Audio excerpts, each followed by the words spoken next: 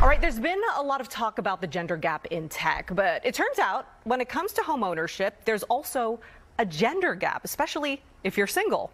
But in this case, women have a big lead over men, and our business and tech reporter Scott Budman hit the streets to find out why. Yeah, it's a pretty wide margin, too. Single women are more likely than single men to own homes here and across most of the country. So we went and asked single people and real estate agents, how did that happen?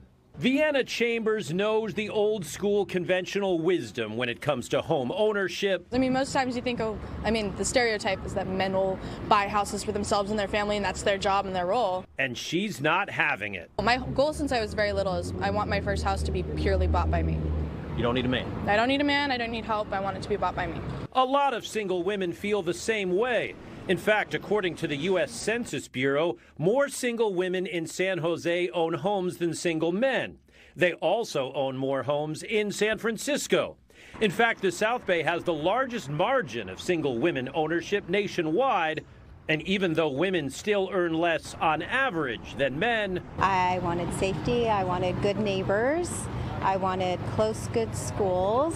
Um, I'm sure someday, but you know, not not now. They want to be owners. One thing that I believe as a woman I can say we all have in mind is the house, the place to regroup, the, the, the anchor.